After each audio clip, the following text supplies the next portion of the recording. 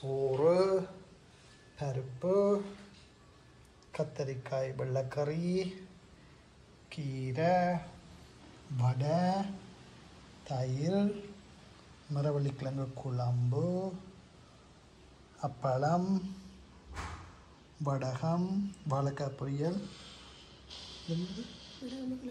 இது என்ன? காத்தோட்டிக்காய். கறி மிளகாய் வடகம்.